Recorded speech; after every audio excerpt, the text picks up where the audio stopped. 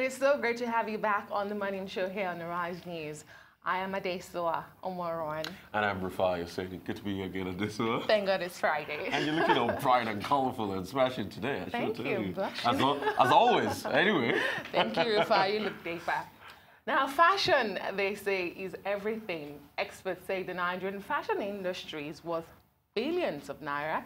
If well developed, has the capacity of generating many profitable companies and providing a variety of jobs to millions of Nigerians, especially the youth. Though over the years, with hard work, Nigerian designers grew the industry into a force to reckon with, but this is not still enough.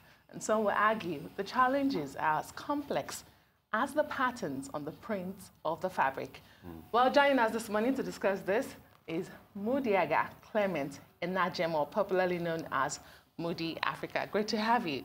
Thank you. Great to have you, Megwa. can, can- can you just tell us your journey? Because Mudi is everywhere today.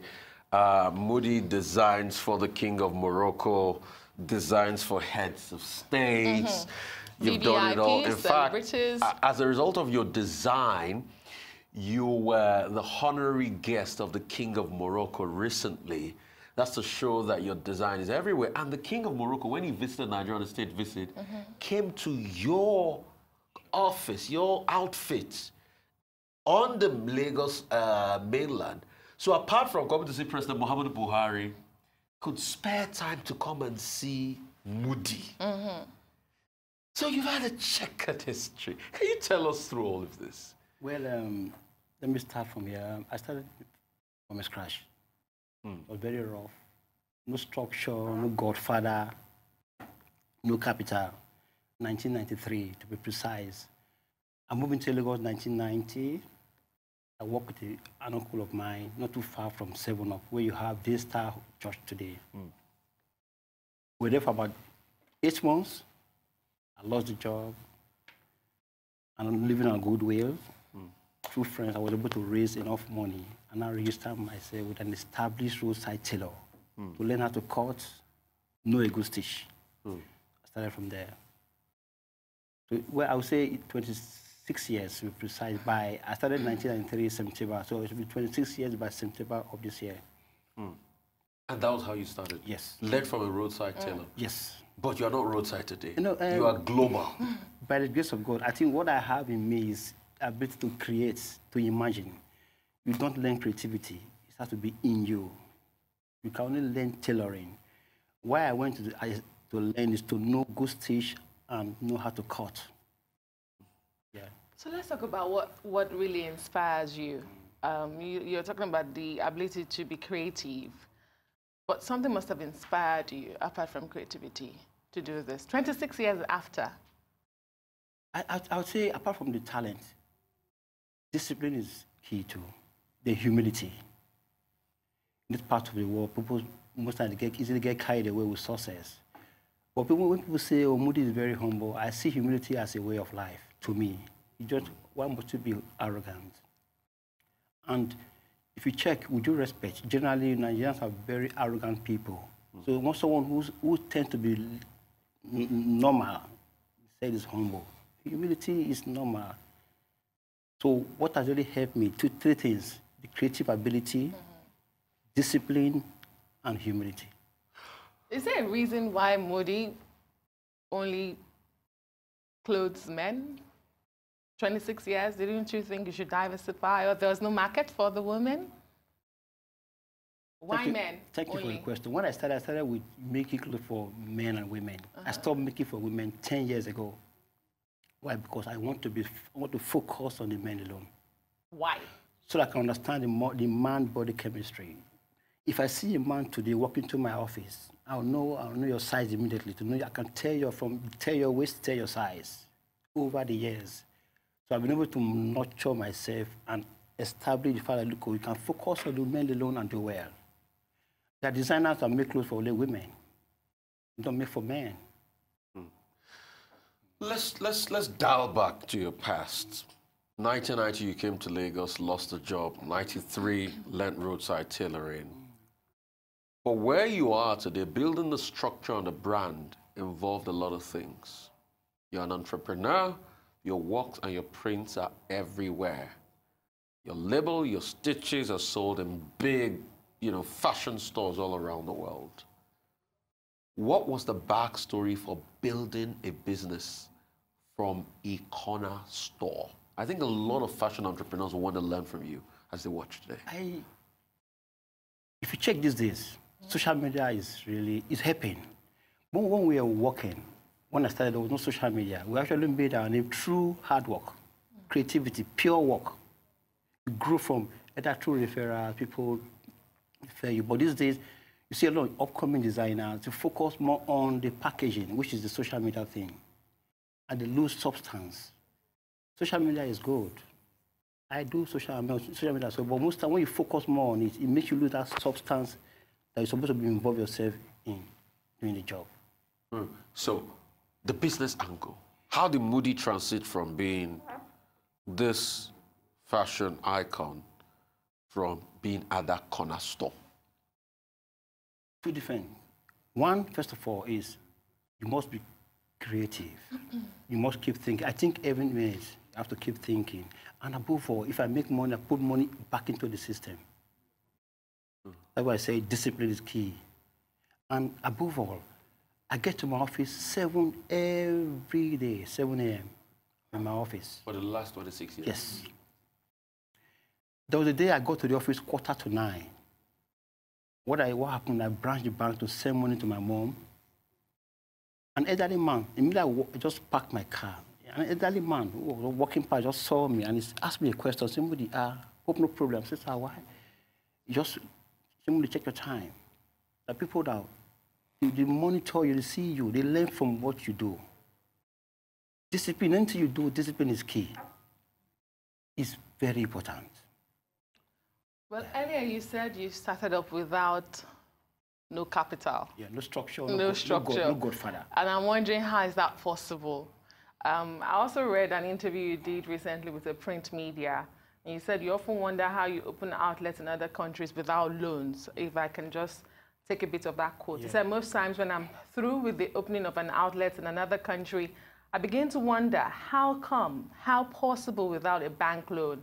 It goes on and on, but let me stop here and ask you really how possible. Because uh, the rate of unemployment, and the few who do try to start up, you, the first problem or challenge you hear is there's no fund, there's no support. But you did it 26 years ago. How did you do it?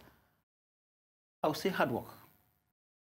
Hard why, work. why say why let me see yeah because hard work in practical terms in practical terms let me tell you they are young designers today they get to their office 10 o'clock in the morning 11 they delegate from home I put in I get to the office 7 there's no one can be at the same level are you not being too harsh on there with Lagos no, traffic no, and all of that madam okay with due respect you have to time yourself mm -hmm. I get to the office seven every day. I'm married to my job. So what you do is what you put in, you get. It's in the Bible that I will bless the work of your hand. It's what you put in, you get. My lifestyle today, people see me, they think that I'm into other things. They don't believe that you can't only do one thing, do it well, discipline yourself, be hardworking, and you make it. It is possible. Let's talk in practical terms because yeah. this is almost philosophical to me. Yeah. I want to start a business. Okay. I, I wake up, even living in Lagos, I wake up before five to, be, to beat the traffic and be at work. But I do need money to fuel my car. I mm need mm-hmm. money, I mean, to buy clothes. I need mm money mm-hmm. to, to start a business like yours. I would need to buy a machine. Mm -hmm. The cheapest I know is not, nothing less than 20,000 naira at the moment. Mm-hmm how do I get that money? How does hard work get me that? That's the story I want to hear. How, you said no loan, no capital. Yeah, okay. How? I'm coming. Let me let me start. When I was working, simply to get my first job, the money wasn't coming. RMD came to my rescue. Richard Mofe-Damijo, that's yes, the actor. Yes, my first job I got, he paid for the first job. How much was it? Then? 47,000 naira. That's at 1990. 1997. Hmm. From 93 to 97, I was still working from my one-room apartment, K2. Okay. So my first job, Anthony, I ran to him, he rescued me. After paying for the shop, for three months, I didn't move in. I have to start working to make money to pay, buy for to buy carpet, do the painting, buy fan. After that, I started working with one machine. I make money, I buy materials, put back into the work. It's a process, 26 years. There are designers who want to be like, want to be like me today. Just only four years they put into the work. It's a, it's a process. The likes of Giorgio Armani, they are almost 70 years. It is, they're still working. Yeah, we're always in a hurry. The first thing you need to do if you want to go into profession, first of all, you must have the idea. Are you creative as a designer? If you are creative, you have the passion. If you have the passion, then you must have the drive. So it has, it's a PDD. You must have the passion, drive, and the discipline mm. after the creative ability. So when you moved into that store in 1997, what happened next? So I worked for, I was there for two years. After paying the two years, he actually paid for two years.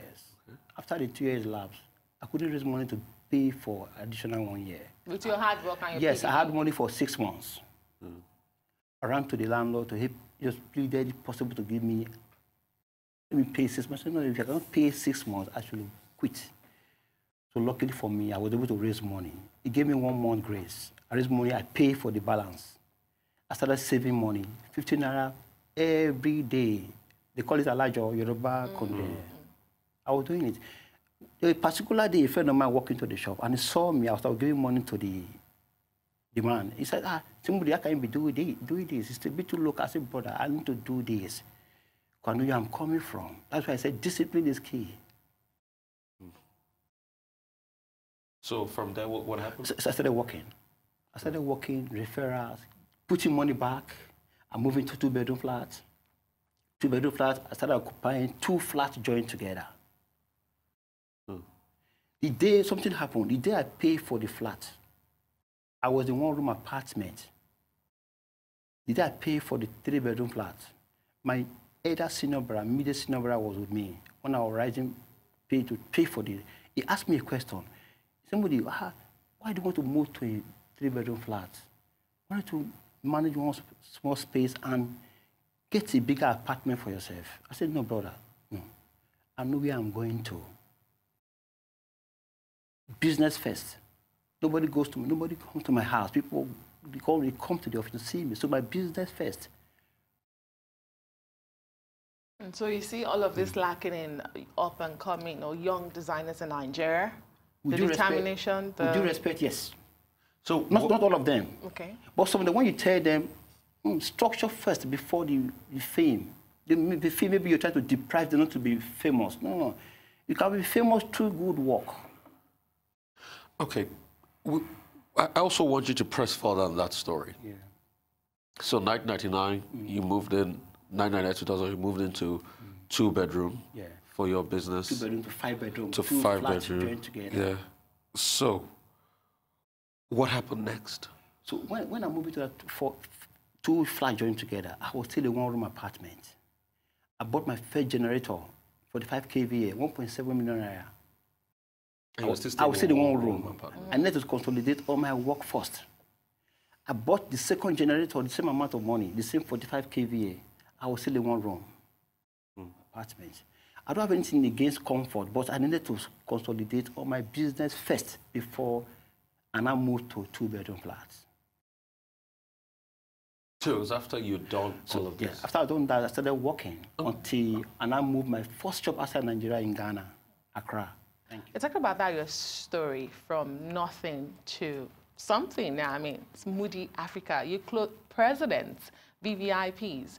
Uh, you were on that point where you had moved to the store, uh, but you were in discomfort in your personal life, you decided to build business first and the importance of that? Well, uh, so um, the day a friend of mine asked me mm -hmm. a question I would never forget. He said, you ask me in pidgin English. I said, ah, Mudi, this work what you do when you want to buy a car from this work. He asked me the question. Then was feeling, you know, that feeling, ah, I'm sure the guy can make it through this job. But right from time, I don't have the feeling of it is possible, that it is possible mentality. You must believe in yourself. Most people, they don't have that self-confidence. It is possible. Most have that confidence it's possible, it's possible. anything is possible. Just make sure you focus yourself and start working. Work hard, you make it. So there are those who hmm. discouraged you, but there was Richard Mofe-Damijo, Yeah. the actor, who gave you a chance and gave you money for your first show. Sometimes you speak to entrepreneurs now, and they tell you, you know, we have this business idea. We come together, manage the funds, but nobody tells us really the experience we're going to go through. So there's that vacuum of um, mentorship don't you think that that's a problem in itself? Because you have said here already, you know, we are impatient as the people, get rich quick syndrome, Instagram life slaying, they want to have those Yeah. big stores Yeah. in four years. But how about the mentorship gap? Are people like you filling that gap? We, we try the best. I, I, like me, I do that almost every day. A young designer walking to my shop for me to advise him what to do, the next step to, to be. So I asked him, uh, as we were discussing, he saw my carrier bag. Ask him a question, how much cost me to produce the carrier bag? I say, at this level you're thinking of, you want to, at this level, your carrier bag you're looking at, hmm, ca- carrier bag shouldn't be a priority now. Priority is the structure of what you want to do. So most times they misplaced priority. When you talk to them, calm down. But look as if you're trying to try to suppress it. to be no. It was, there's a time for everything. I put in 26 years. You just four or five years. You want to be the same level. It's not possible. It's what you put in, you get. God is not partial. It's what you put in, you get.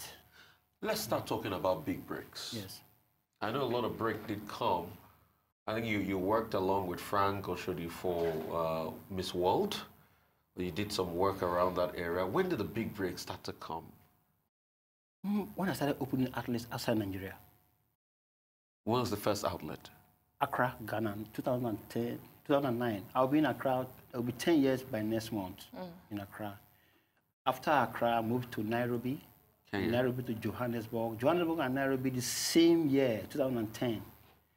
2011, I opened Dakar. But Dakar did do well, so I shut Dakar down. So last year, I opened in Abidjan. So you're in Abidjan? In Abidjan, Accra, Accra. Nairobi, and Johannesburg. Why, why did you pick these locations to expand? Um, first of all, you're in West Africa, you know, we're more in terms of African fashion. We're more, when you say top there. Mm. In Kenya, they're more westernized in terms of the way they dress.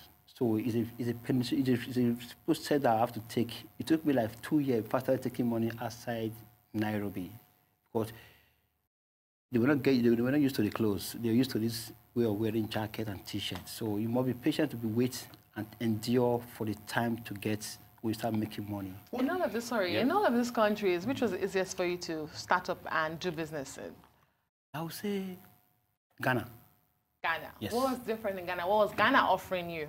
I Eh, mean, we have the population here. Okay. The time I opened my shop in Ghana, that was 2009. It was free entry, Okay. no tax, tax free. So I, do- I, I entered Ghana when there was free tax policy. So I just keyed in. That's really helped me. And each any country I go to, what I do, I go to the embassy, Nigerian embassy. The ambassador, he or she must give me the blessing before I take any move. Hmm. And you have members of staff in all this. Like in Ghana, how many members of staff? There are three staff in Ghana, in Nigeria, two Ghanaians. So uh, let's say across board in all these countries, in Johannesburg, South Africa, you have over 20 or 30 staff. I mean, how, how, what, I, I want to know, did anything prepare you to run a cross, uh, you know, continental business from the place you started off from? I mean, what's the mindset behind running an international business? Because Mudi is a multinational. Thank you. Um, I would say, you know, fashion is universal. Doesn't speak language. Your clothes are good, they're good. That feeling that let me spread is key because there are people in outside Africa, outside Nigeria, who want to wear dress in African way. There's a vacuum we need to fill. When I went, when I went to Nairobi, I saw that you know what, this space that I we needed to fill the space. So I said, let me come in. And luckily for me, the ambassador gave me the go ahead and an open shop in Nairobi. And mind you, everything is made in Lagos.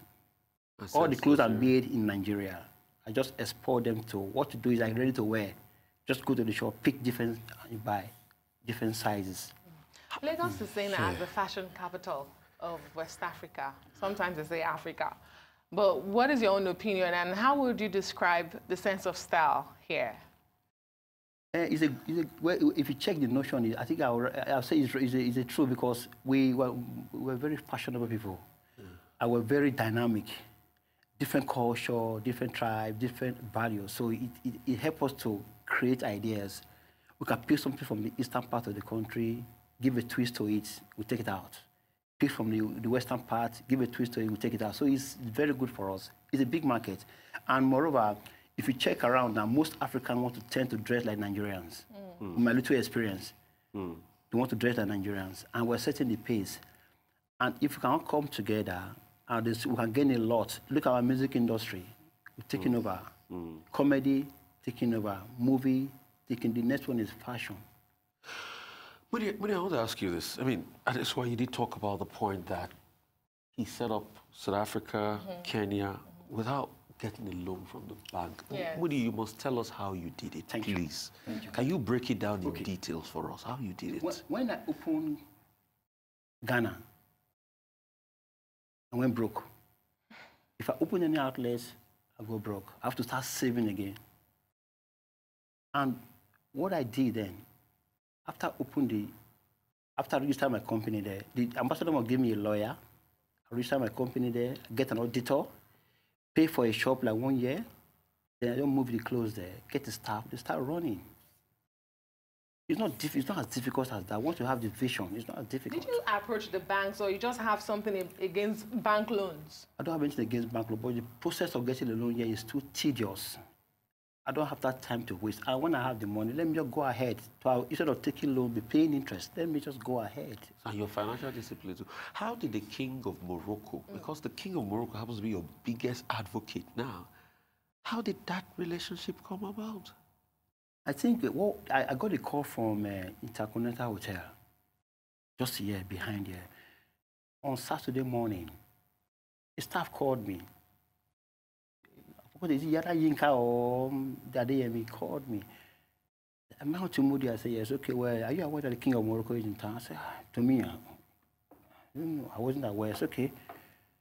Well, the king is coming to visit, pay you a visit, he's coming to your shop in Anthony. What time do you open? I said, we open 9. But I get to the office 7. But officially, we open 9 o'clock. That's about 11.30. And advanced team came to my shop. They look around, so they check around for the you know, true security checks and the rest. So they went and they came back around to four in the evening. He spent about one hour, 10 minutes looking around. There and there, he bought seven outfits, took his measurements, exchanged numbers, started communicating. when you talked to him, did he know you before? I mean, how no, did no, no, he... I didn't. I think I, he asked questions mm. through the staff. He needed to visit, visit few places in Lagos. And luckily for me, the points my name are part of the place you want to visit. How is it like working for people, uh, influential people such as the King of Morocco? Um, their style, do you project what you want or do they, what exactly is it? You must have a picture of what you want for them. So is it a matter of projecting your personal style on them? What is the Mudi fashion brand really? What does it stand for? First of all, that question you ask me now, as a client, if you walk into my, if you walk, call me, what I do is interpret what you want. Okay. I read you, check your mindset, your philosophy to life, your profession. That will determine what I'm going to make for you. Mm. Very quickly, talked about your shop, and a lot of people tell me I haven't been there. So it's fantastic a building, the style. And you have uh, some interesting pictures on the wall. Pictures of some who have died, pictures of where you're coming from. Did you design that yourself? And what's the story behind the shop? Quickly. Well, I designed that structure you see there. Mm -hmm. I did everything, exterior, interior. I did everything. What, what happened, I think I got a property through GT, GT Bank. They came to, I wanted, wanted to buy the property. Finally, a bank in the story. Uh, that, that, was the first time I took a loan from bank. And they didn't give me the, just, the, they, they sponsored it after, like mortgage, and after paying, they handed over the document to me. So I did that project for about one year, the renovation job. It's an old structure. I just did the, the, the remodeling to my taste. And then when the opening day, Fashola actually commissioned the place and named the street after Mudi Lane. Mudi Lane, you know, and the, and um, African Magic came from South Africa, did a documentary, and they were- they have voted the best purpose-built fashion house in Africa. And it was your design. So you're also an artist. I'm an artist. and so you say you're an artist first I'm an, I'm an artist. I'm just expressing myself through fashion. I'm an artist. What is the future of the Nigerian fashion industry? I mean, with these challenges of the young ones who can't wait, who don't have the patience, what is the future like? What do you see happening? Yeah, I, I would say, let me be positive here. Okay. It's a big, the market is getting bigger. That shows that the people want to wear more of Nigerian clothes now. So more, my advice is just get your structure right. Be creative. Just be firm in what you do. You make it. The market is huge. People want to wear something new. Keep coming out with new ideas. People are keen to what you do. Do you ever see the Nigerian fashion brand competing with the likes of uh, luxury brands such as the Gucci's, uh, the, um, help me now? the, the products, the Givenchy. Yes, Yes. you do. Yeah. How would that happen? It's possible. Most of my clothes will see them. say, Ah, is it- are you sure it's made in Nigeria? It's, it's possible. Most, we must first of all start to believe in ourselves. So Once, it's once the belief is there, and you as a designer believe in what you do, have that self-confidence that it is possible. It is possible. happen. Yeah, it has happened. And that's where we'll leave it. On that positive note, many Yeah. thanks for coming on the show you. today.